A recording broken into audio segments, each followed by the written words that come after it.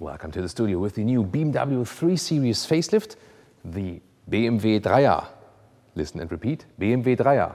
That's the German lesson for today for the BMW 3 Series. and you can see here, a little bit changed this front kidney, but it has not grown actually. That is interesting, but it's actually you know, a little bit, you know, has a different curve here, also two times vertical fins. This is the extended shadow line, so you have black frame and also the black inside. The other base versions would like, look a little bit brighter. This area here is higher, so it gives more presence on the road. And the very cool color here is a special M color, Brooklyn Gray. So M Brooklyn Gray, astonishing, right? And for me, most important news, so far the headlamps had, had this, you know, this element like this you know, like there's this kink inside, but here now a more seamless design also here. So beautiful update for the headlamps. LED standard, optional matrix adaptive LED with curving light functions, and then also the signature is a little bit more accentuated. I think it's a good thing, and the laser light is no more, but you still then have in the matrix LED now these blue accentuations carried on from the former laser light design. Why is that? Manufacturers go away from laser light and say, ah, I know what is nice try, but the matrix LED have actually a better price performance. They have you know, enough performance also in high beam. Then there were these regulations issues with laser light in the US, and they said uh, Audi and BMW, the hell with laser light. Matrix LED is actually just fine. So I think in this case here, a very good upgrade as for the front face for the BMW 3 Series. There are new infotainment systems update also to come and also better perforated Sensatec seats. So stay tuned here with Thomas on Autogefühl for all the changes to come right now. Let's go.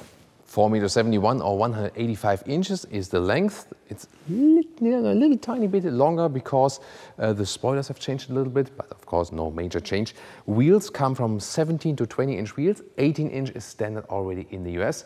These here are the 19 inch ones.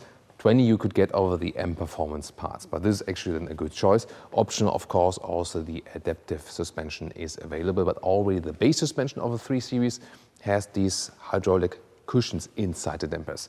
And here the side profile, once again, very clean sedan look, dropping line right here. I think this is still a very classic, timeless look, isn't it? This vehicle does have the extended shadow line, however, the black door frames are standard now for all models, but you can still depict them and go for chrome, but then you have to go for that on purpose, which I would actually do. This is a sporty look, but I'm more like team chrome frames around the windows. Or are you team black frames around the windows? Tell me in the comments. The rear of the 3 Series, to me, one of the most beautiful sedan rears. Again, you can also get the Touring, the Estate version if you want more luggage flexibility. But here, you can see the lamps, swinging form, beautiful, clean, three-dimensional work. In the lower part, in the M Sport, you have the black contrast and diffuser style, as well as no job for the AFAP, no job for the Autogefühl fake exhaust police, because this is real. I mean, you know, yes, there's like a decomment around it, makes, makes it a little bit thicker, but you see, this is the actual pipe, and I think that's an honest design, isn't it? As khaki, this standard one here in the M Sport with the M colors, and this would be then the optional computer key, the big one where you can also have like preconditioning and so on and so on. But this one, of course, does the job. Door closing sound, very solid. Ah, low frequency, I love that, right? Then inside, you can see here, top part soft touch. Then here also really soft, great build quality, also nice Hofmeister kink design element.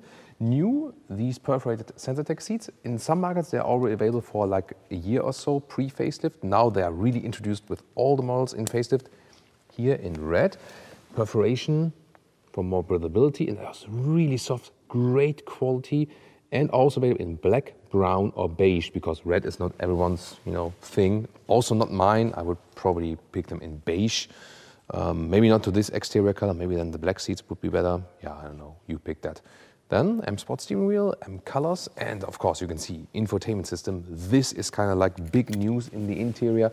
The two screens, we know them from other new models, 12.3 left, 14.9 on the right side. And this is then the new BMW OS 8 new infotainment system, and we will experience that very soon. These seats here with the perforated Sensatec, really soft, very comfortable. Of course, the SUVs are a little more comfortable in the upright seating position style, but other than that, electric control right here, you have really good comfort in these seats. And when you put them in the lowest position here with 1 meter 89 or 6 foot 2, Still some headroom left. Here's not the panoramic roof in this case, Ben, but you can get one. Steering up, down, manual way, but very good and smooth process. Cockpit area, you can see here these decor elements, clean layout, then here this curved screen, one unit, then 14.9 on the right, 12.3 on the left. In the lower area, still a manual uh, volume knob here, that's good. The climate unit is sadly gone because the climate unit is in the screen now. Hmm, yeah, about that. I don't like it that much. Sumo to the uh, software version. I mean, at least it stays here in that same area, at least. Yeah. Here you can open this one. This more classic, adaptive cup holders, inductive charging, Android Auto, Apple CarPlay is wireless.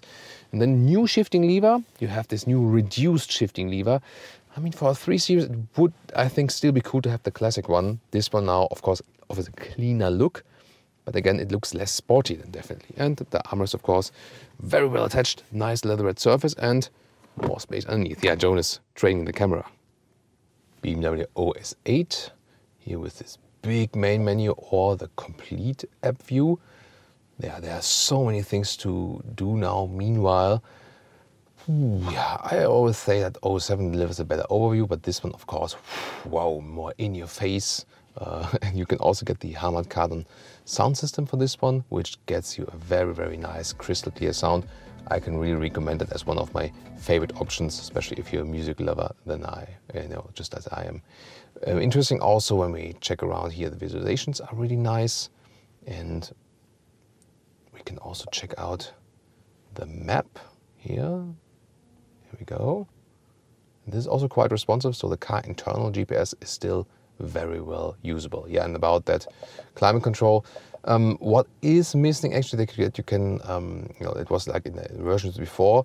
Here you can actually also activate or deactivate the AC. So this has been updated now. So they do listen to the feedback we give here on this channel and that you, you also give here in the comments. Digital instruments, of course, also all new like in the other all new BMW models. And um, you can, at the right side of the steering wheel, change them, for example, also the layout, where you want to have the digital speed displayed, and so on. Head-up display, you can also change contents there. Definitely always a helpful option since steering wheels can also block views on the instruments. Rear seating area, also perforated Sensatec, looks really lovely. High quality and the seating area is also quite wide actually for rear seats. And what about the leg room? Oh, by the way, also soft touch at the rear seats, like for the premium vehicle. Here it fits for five tow adults. No, well, in this, I would rather say four tow adults, five maybe long, uh, short way fits here. Headroom wise, also directly fits here with the 189 or six foot two. Well, in the middle part, I mean, you can drive for short ways. Of course, you would need to push this one forward now. It's a little bit stiffer than here on the middle part. It does work, but of course, in this sedan segment, rather use the outside seats. Here we go, trunk area 480 liters. If you want more, you need the Estate or the Touring model. Here the length is a good meter of 40 inches, very well usable, and the same also almost goes for the width and the height here at 53 centimeters or 21 inches.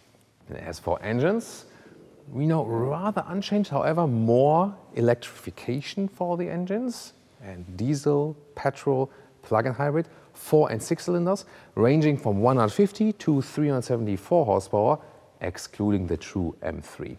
Which one is the best to go for, the most fun? Yes, the M340i, the six cylinder. This one here is the 330i, the four cylinder, but my personal tip would be 340i, of course, since now when money plays no role, the six cylinder, and you don't need the M3 really, the 340i will just be fine. In the US, you can also get it rear wheel drive only, that would be the dream combination for example, in Germany, you get it then as all-wheel drive, but that's of course, you know, yeah, that thing that goes best actually is most fun. Really great also with the new perforated Sensatec seats, and I really also like the front changes. Well, what about the competitors of the 3 Series? We also have reviews of that, so see you there.